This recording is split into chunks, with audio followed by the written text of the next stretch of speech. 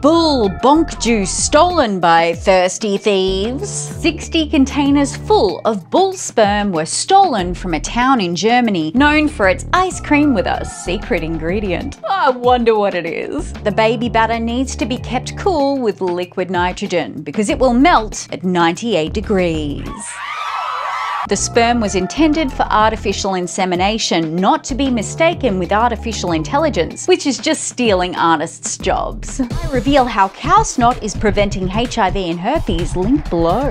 Considering the farmer obtained the dong water through manhand to boy cow milking, or a bovine fleshlight, maybe the load was confiscated as evidence of a centornographic crime. The timing of the spooge heist couldn't be worse. After a dry season, no known as No Nut November. Now the bulls are nutting again, the vegans can have their milk.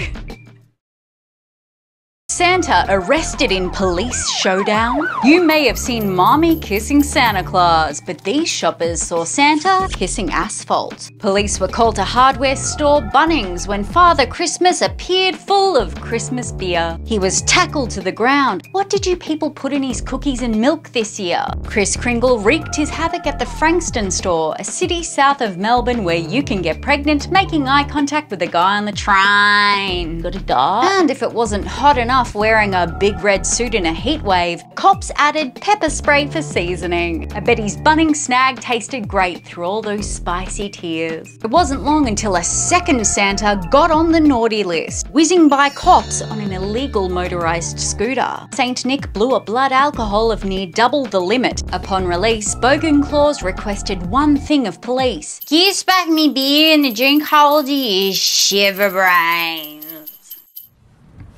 Well, that's a wrap on 2022. Thank you for joining me on my first year of Creepovision. To be eligible for year two, subscribe now. Only two new stories this month because I released Creepo Files, the brand new show on my channel, where in the first episode, women do the pantsless dance with dead dudes. That's right, there are women who actually get naked with ghosts. So you want to go and catch that link above. And I'll see you in 2023. Stay weird, kids.